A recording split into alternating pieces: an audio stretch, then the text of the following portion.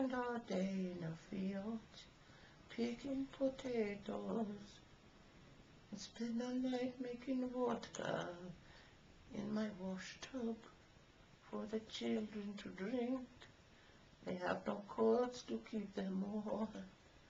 But my potato vodka does a pretty good job. I did.